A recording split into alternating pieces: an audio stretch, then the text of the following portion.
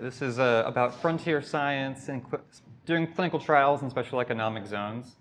This talk covers my experience running Mini-Circle's phase one trial in Prospera, but it's also going to talk more generally about why these special economic zones or smaller jurisdictions are important for doing innovative research.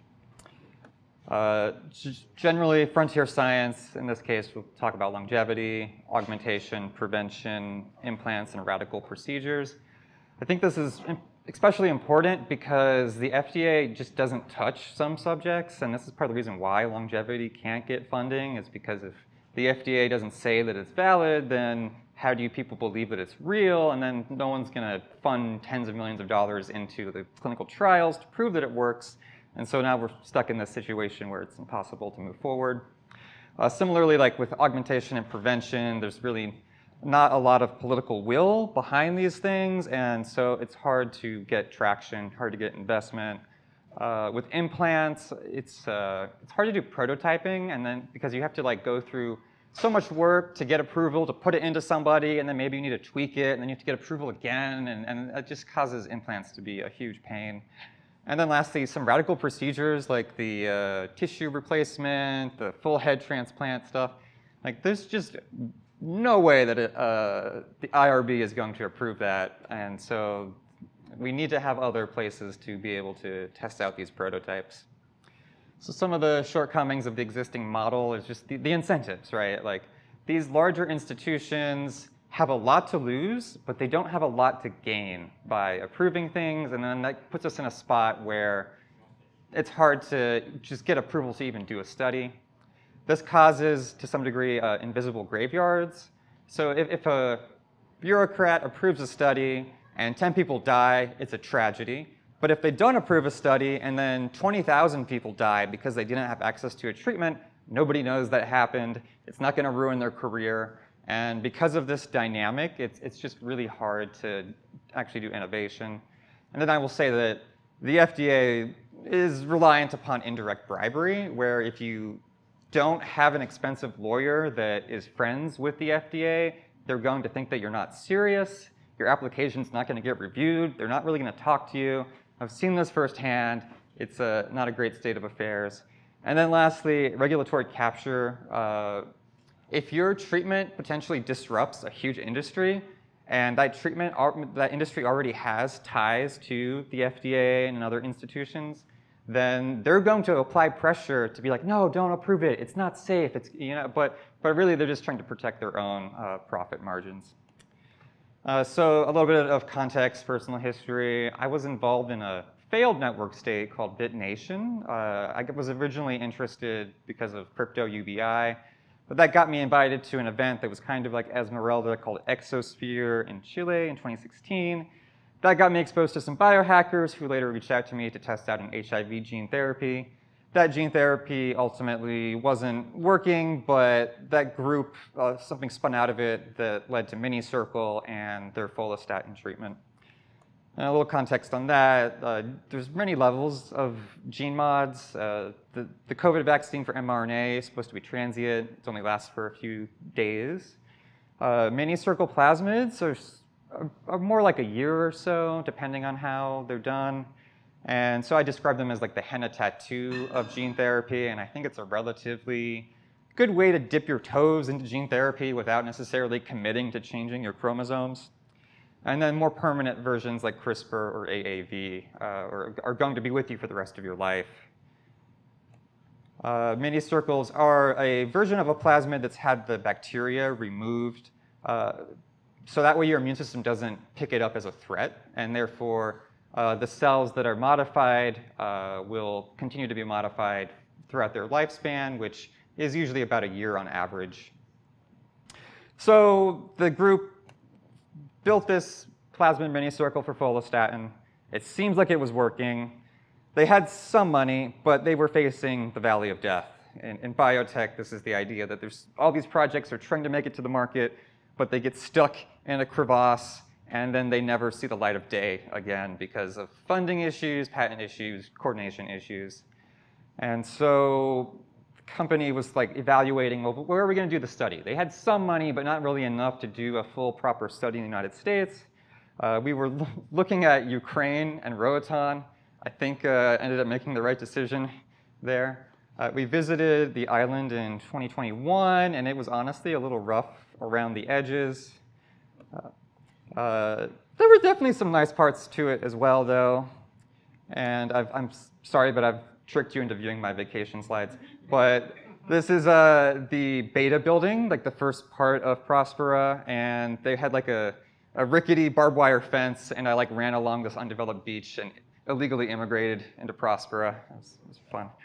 Uh, so a little bit more about Prospera. It, it's kind of this brainchild of these like radical libertarians of like, what, what if we could have our uh, cake and eat it too? What if we could have this economic zone where we could, we're free to do whatever? Uh, first, it was proposed in 2011.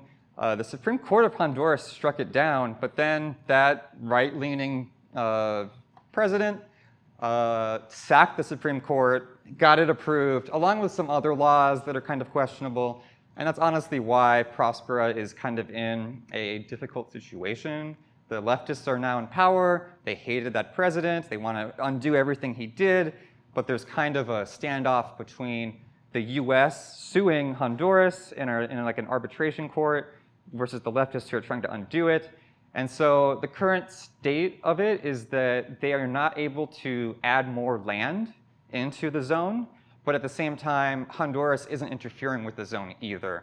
So it's kind of stuck at a state where they have some pieces of the island are annexed in, but they can't add more land. Uh, yeah, there's a low tax rate, Bitcoin's legal tender. It is kind of interesting. Our original idea was to rent a office in their beta building, but we ended up partnering with a existing stem cell clinic on the island that, that was perfect. They already had an IRB, they were open to doing research, and it was just a really good natural partnership. So the structure of the study, uh, we were comparing, there was no placebo. So we were kind of comparing the months before the treatment and then after the treatment. We were looking both at blood work, and looking at med metabolic uh, things like lipids, uh, inflammation. And then we were also looking at DEXA scans. DEXA scans look at like body fat, uh, lean tissue, like muscle, and also bone density. We also took blood samples at zero months, three months, and 12 months, and we're using that to look at the actual follistatin levels in the serum. And then we had 43 participants who covered their own travel and testing expenses, but they didn't have to pay directly for the therapy. So it was kind of a, like, just cover your own expenses and, and get it for free uh, situation. Uh, let's see more details about the actual tests. Uh, I will say that we also did epigenetic age, which is one of these like markers of aging, which that's a, that's a whole other concept, but it seems like it's kind of useful. Uh, the participants were mostly from the US or Canada. They were mostly longevity or fitness enthusiasts. After all, who's going to sign up to do something that no, not many people have done before? Generally, they were all healthy. We had a good age range, both genders, and recruitment was done via word of mouth. The structure that we did was that almost all of the participants went through a cohort where we kind of, every month or two, like planned out all the travel. We were all going to come down at this time. We were going to have like a group dinner. And so my job as like a research coordinator, I ended up kind of being a tour guide, visiting this island and driving people around in a van. And honestly, overhearing them talk about all the treatments that they did had some incredible alpha. So what were the results? No serious adverse events. Nobody had to go to the hospital afterwards. Fantastic. There was one reported adverse event with diarrhea, but if you've been to Roatan, you probably know that eating things there might lead to that, so not a big deal. Uh, we saw, on average, fat-free mass index uh, increase of almost two pounds. Uh, the body fat reduced on average almost 1%. And then epigenetic age, extrinsic epigenetic age uh, decreased seven years, which is pretty substantial yesterday, Bryan Johnson released a. Uh, I, I don't know if it's going to actually show, but I'm not going to show this whole clip, but I encourage you to check it out on YouTube. I edited my DNA on a secret island to live forever. I love how he's like becoming Mr. Beast and just going full clickbait. But he overall thought that it was like a worthwhile intervention, and so that's that's that's great. Some other things that are happening on the island since then, uh, Lantern Bioworks is uh, anti-cavity mouth bacteria is doing a phase one study for safety as well. Uh, the founder of which is around here if you're, if you're curious to learn more. Unlimited Bio is taking a plasma treatment that was approved in Russia and now bringing it to the island, both for the condition that it was approved for, which was ischemia, but then they're trying to extend it to things that maybe wouldn't have gotten approval, and that and this is like a rejuvenation of like the face and potentially uh, hair growth. And then one last company that is starting up there, Symbiont Labs, is like an augmentation implant company. And we've all like probably heard about the magnets, RFID chips and whatnot. They're trying to develop the technology around coating implants so that way they can start adding more interesting things like biosensors maybe like your blood glucose, your O2 levels, you can have that embedded, potentially get more accurate readings and potentially charge it remotely so that you can keep it in there uh, for a longer period of time. So benefits of running a study in Prospera. Mostly it's just, it's faster. There is an IRB there that is open to actually getting things done rather than just trying to wash their hands of any liability, which is kind of the MO and so being able to very quickly get feedback on your proposal and like finally get to the point where it's approved, it, it saves a lot of burn time. It makes it so that it's just feasible to get going. Uh, trials, I would say, generally are cheaper than running it in the US just because of all the overhead costs. And then the setting. It's nice to have, it's, it's a reason to go to that island, to be real. And so some legal approaches that Prospera offers that are kind of innovative. By default, you can enter into a common law contract, and so you don't even need an IRB to approve your treatment if you, if you don't want to. But in that case, you are personally liable for any damages up to like a cap of a few hundred thousand dollars. So if you really just want to quickly innovate and you're confident that what you're doing is safe, you can just enter into a contractual agreement with the other person. Uh, Prospera also has provisions so that if something's already approved in an OECD country, you can just start selling it there without having to go through any additional hoops. And then you can also, of course, go through a Honduran or Prosperan institutional review board, which is kind of the traditional uh, model. Or you can propose your own regulatory framework and uh, get it approved by the Prospera Council, and now you are able to govern your business in whatever way you think is right. So interacting with the contract research organization on Prospera, I've seen a few different funding models. You can, of course, have the, the participants fund it, or you could have the company fund it, or the clinic maybe take some equity from your company, and then they will front up some of the costs of running the study, or some mix thereof. What's really exciting, novel, innovative here, I think, is that uh, after you do the phase one study, you can potentially start commercializing it if an IRB approves that a study is being safe enough. So it's kind of a right to try model where if you can prove that it's not dangerous, you can, you can start selling it. Uh, so some obstacles, patient logistics and recruitment can be difficult. Uh, I mean, there's kind of this weird position where like we don't really want to be seen as testing on the locals. So people generally fly down so that to avoid that uh, potential ethical dilemma. Shipping the treatments in can be annoying, processing samples, there's only so much equipment on the island. And then is the FDA going to recognize this? Is, is still to be determined. MiniCircle is currently in talks with the FDA and it's not clear if they're going to accept this as a phase one and say, yes, you go do a phase two now. Or if they're gonna be like, no, that's not a real place, go do it someplace that's, that's real.